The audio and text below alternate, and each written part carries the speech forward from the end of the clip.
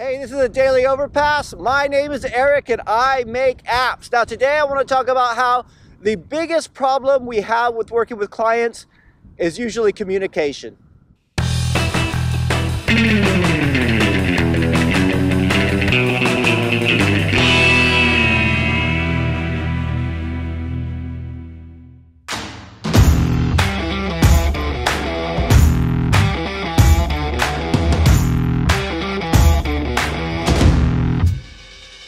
All right, so I've been working with clients for about four years now.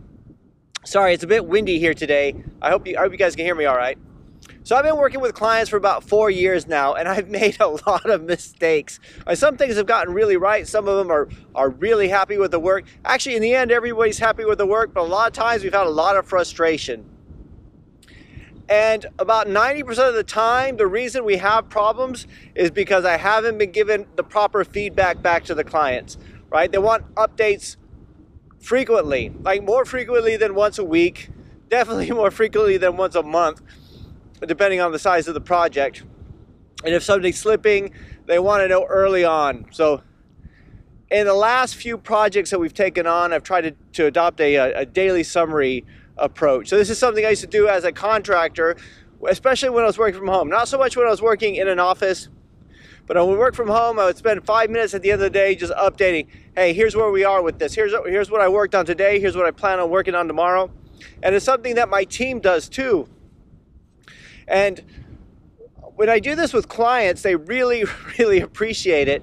Just being, you know, kept up to date with it. And it's it's not unusual. A lot of people will complain about. It. In fact, one of the problems that like a lot of people who come to me and they say they work with a developer before and they had a really bad experience is always the communication.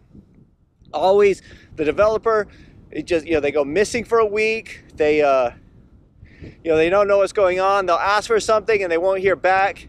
I'm really bad with quoting. This is one of the things you know when, when i get a quote I, I spend too much time researching it. Sometimes it could take a week or two and i probably lost a lot of deals because of that. But you have to think about it like if you like if you order something from Amazon. I mean, because this is bigger. Because this is something like if they if they want an app, this is like a, a big thing. You know, it's their future. If you order something huge from Amazon, like you order a new computer or something or something that's you know you just can't wait to get, and they send you the email saying trap track shipping. I mean, how many of you guys out there are just able to not click on that button? I mean, I, I check it all the time. I want to check, you know, how are we do with the shipping? Where, where are we with this? Where are we with this, right? Because you're excited, right? And your clients are excited too. I, I hate, I used to hate it when the phone would ring and it would be, Eric, where are we with this? Or I get an email, where are we with this project? Because I knew it was a failing on my part. So, so we're trying out something new. It seems to be working really well with it with the, uh, with the clients we have at the moment.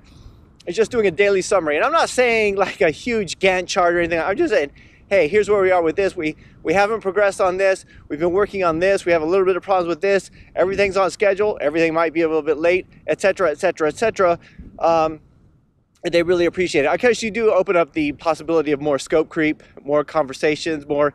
Now that you say that, I was thinking, but you have to push all that back to the end. Scope creep is something as a as a developer you have to manage all the way through. So anyway, just a little thing that I found really helpful. I hope you find it helpful, especially if you work with clients. And uh, you know, let me know if you guys had trouble with this. Most of the time, all client problems have to do with communication. Uh, well, it's communication and scope creep. So, anyway, that's it for today. I'll talk to you guys tomorrow.